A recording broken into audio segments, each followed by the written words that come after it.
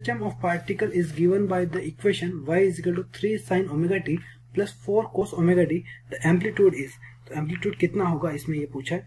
वापस देखते हैं, यहाँ पे देखो, दोनों पहले साइन में कन्वर्ट कर सकते हो या फिर कोस में कन्वर्ट कर सकते हो? तो पहले अपन साइन में कन्वर्ट कर देता हूँ तो मैं एक एक की बात करता हूँ तो ये मेरा है three sine omega T right okay और दूसरे की बात करता हूँ, यहाँ पे मैं वाई लिख लेता हूँ, और वाई की बात करता हूँ तो फोर कोस ओमेगा टी इसको आप साइन में कन्वर्ट कर सकते हो इसको साइन में कन्वर्ट कर सकते थे क्या आ जाएगा? ये आ जाएगा four sine omega T plus pi by two right okay तो देखो, दोनों इक्वेशन अपने पास मिल गए। इसका एम्पलीट्यूड थ्री है, इसका एम्पलीट्यूड फोर है, और एंगल फाइव बाई टू है। तो ए वन है मेरे पास थ्री ए टू है मेरे पास फोर और एंगल है मेरे पास फाइव बाई टू अब आपको पता ही है कि एक इस तरफ़ थ्री है एक इस तरफ़ फोर है तो रिजल्टेंट क्या आएगा? रिजल्टेंट इस तरफ़ आएगा, कितना आएगा? फाइव आएगा। पता है ना?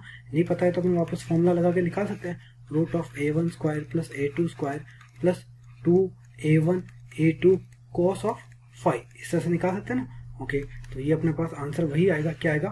फोर का स्क्वायर यानी सिक्सटीन प्लस थ्री का स्क्वायर यानी नाइन और ये फाइव आ जाएगा। ओके तो एम्पलीट्यूड तो होगा अपना फाइव तो एम्पलीट्यूड क्या आएगा? फाइव आएगा।